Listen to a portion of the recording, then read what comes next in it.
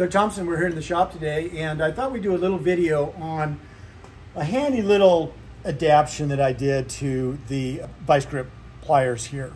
And all this is essentially is a piece of heavy wall tubing that I capped at 45 degrees.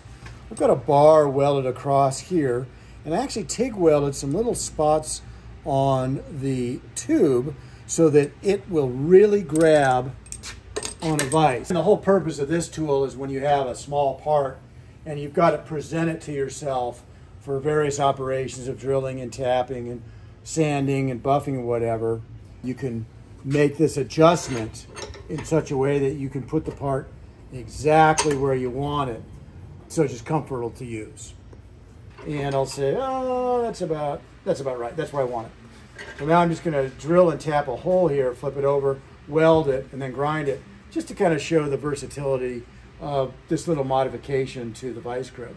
But I, I, I find that it's incredibly useful for like small parts that are at, you have to hold them at like an awkward angle to drill or to tap or to grind.